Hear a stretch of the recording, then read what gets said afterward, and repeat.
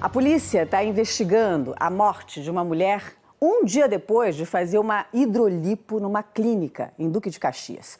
Os parentes da Rosimere de Freitas, de 50 anos, dizem que ela passou mal, chegou a ser atendida novamente pelo médico que fez o procedimento, mas aí o que, aconteceu, Ana? Ele fugiu, né? De acordo com os parentes, eles disseram que esse médico fugiu depois que ele percebeu que a mulher estava morta. A gente vai conversar com o Benhur Correia ao vivo, que tem mais informações sobre essa história. Benhur, bom dia para você. Bom dia, Ana Paula. Bom dia, Mônica. Olha, a gente está aqui em frente à 59ª Delegacia de Polícia Civil, que está investigando esse caso. A morte da Rosemary aconteceu nessa terça-feira. Vamos explicar o que aconteceu exatamente.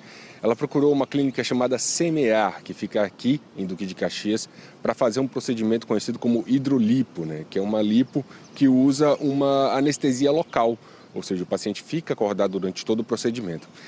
O procedimento foi feito na segunda-feira, ela recebeu alta, voltou para casa. E aí na terça os familiares afirmam que ela começou a sentir algumas dores. E que a recomendação, caso isso acontecesse, era levar ela de volta na clínica. Foi o que eles fizeram, levaram ela de volta na clínica, mas ela já chegou é, tendo um princípio de parada cardíaca. Então, o médico responsável pela clínica, identificado como Ronald Rente da Rocha, ele atendeu a paciente de novo, tentou fazer alguns processos de reanimação e não conseguiu. Foi a partir daí que a coisa começou a ficar toda estranha. Né? Afirmaram que ah, foi recolhido da clínica, o médico acabou fugindo sem dar o atestado de óbito, ele mesmo se desesperou no local.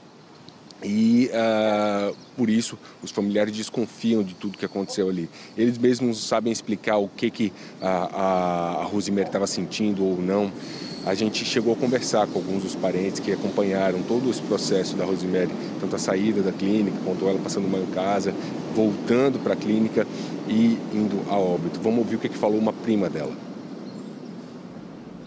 O médico estava lá guardando ela. Chegou lá, ele começou a reanimar ela. Eu falei, não tem um, um aparelho para dar um choque nela, botar ela no oxigênio, porque ela está desfalecendo. E ele começou a fazer massagem cardíaca nela, soprando a boca dela, e ele pedindo perdão, me perdoa, me perdoa me perdoa, fiz tudo o que eu pude fazer. Eles falaram isso, que era para levá-la para lá porque tinha suporte. Como é que não tem suporte? Ela morreu ali, morreu nos braços dele. Como é que é isso? Fugiu. Ele fugiu. Simplesmente ele fez errado. Ele sabe o que ele fez, né? A gente que não sabe. A gente só sabe que a gente perdeu ela. É, o médico Ronald da Rocha, ele se identifica nas redes sociais como responsável clínico pela clínica Semear. É, na, no currículo dele também, em redes sociais, ele afirma que já trabalhou ah, no hospital da, do, do, da Marinha, no hospital Arsenal da Marinha. Então, é, a gente está checando todas essas, essas, informações ainda.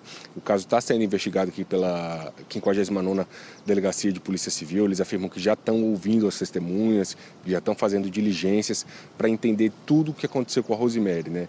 É importante que fique muito claro, né? esses procedimentos eles têm que ser feitos em clínicas autorizadas, sempre com acompanhamento médico.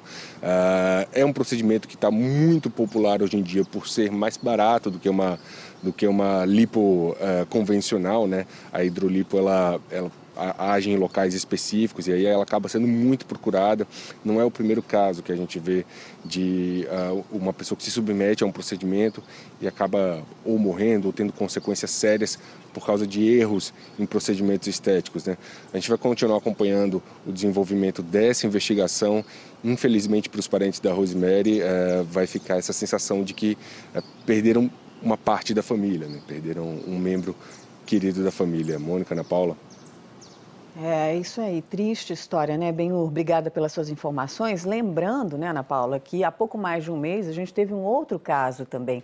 A diarista Maria Jandimar tinha 39 anos e também morreu depois de um procedimento exatamente como esse, a tal da hidrolipo, né? Então, extremamente importante que ao se decidir fazer um procedimento como esse, você procure um médico capacitado, um médico é, pesquise o histórico desse médico, né? Sabe se ele tem registro, se está tá tudo regulamentado, autorizado a fazer uma clínica que tenha condições de oferecer um suporte em caso de emergência, caso haja alguma complicação. Né? Essas são informações tão importantes para o paciente antes, antes de optar por um procedimento como esse, né? E desconfiar também do preço, Mônica. Se tiver muito barato, desconfia, verifica, pesquisa, porque não é a primeira vez que a gente mostra, é, infelizmente, pessoas perdendo a vida por causa desse tipo de procedimento. As investigações vão dar continuidade aqui para saber exatamente o que aconteceu, mas é importante ficar sempre muito atento. É, os nossos sentimentos aí, então, a família da Rosemary, né?